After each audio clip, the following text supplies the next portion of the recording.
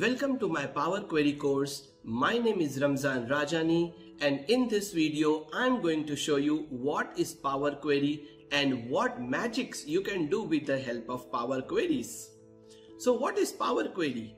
Basically Power Query is a Microsoft tool with the help of which you can automate lots of your tasks. Like if you get a messy data from the internet and if you want to clean up, you might be using lots of formula. Now with the help of Power Query, you can just click on a button and all the data is clean. If you have multiple sheets and if you want to combine multiple sheets, Power Query is the solution.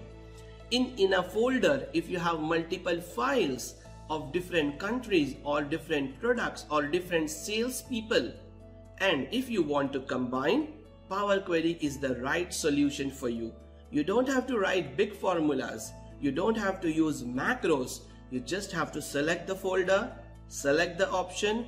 Excel will see all the available files and will combine everything and will give you one beautiful nice looking sheet on which you can do the pivot table and other formulas if you have a format if you have a format problem in the date means if your date is in a text format how do you convert into the right format so fixing date is very easy in power query we are also going to learn how do you combine first name and last name without using a formula if you wanted to remove blank rows or blank columns power query is the solution so lots of interesting things can be done with the help of Power Query.